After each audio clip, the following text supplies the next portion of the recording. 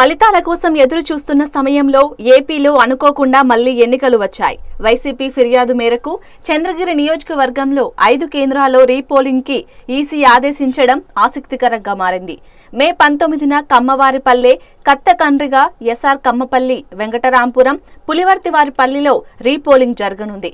ఇవన్నీ టీడీపీకి పట్టున్న గ్రామాలే కావడంతో రీపోలింగ్ రాజకీయ రంగు పులుముకుంది.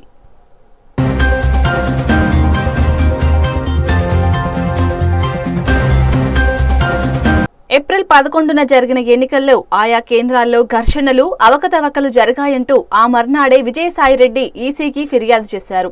ఏడు కేంద్రాల్లో రీపోలింగ్కు డిమాండ్ చేశారు. రాష్ట్ర ఎన్నికల సంఘం సీసీ కెమెరా ఫుటేజ్ పరిశీలించి స్థానిక అధికారుల నుంచి రిపోర్ట్ తెప్పించుకుని కేంద్ర ఎన్నికల సంఘానికి నివేదించింది. స్పందించిన సెంట్రల్ ఈసీ మే పంతొమ్మిదిన ఐదు కేంద్రాల్లో రీపోలింగ్కు ఆదేశించింది.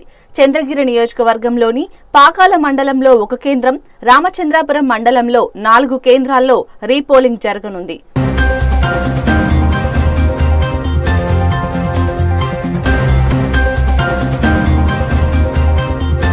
చంద్రగిరిలో రీపోలింగ్తో రాజకీయం మళ్ళీ వేడెక్కింది. ఈసీ తీరుపై టీడీపీ భగ్గుమంది.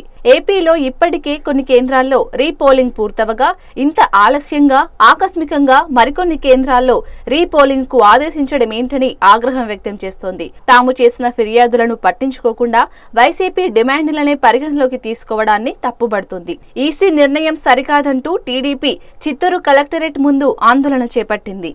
నిబంధనల ప్రకారమే రీపోలింగ్కు ఆదేశించామని ఈసీ చెబుతోంది.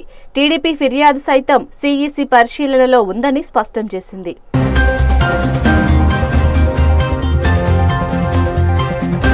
అటు రీపోలింగ్పై వైసీపీ అభ్యర్థి చెవిరెడ్డి భాస్కర్ రెడ్డి హర్షం వ్యక్తం చేశారు.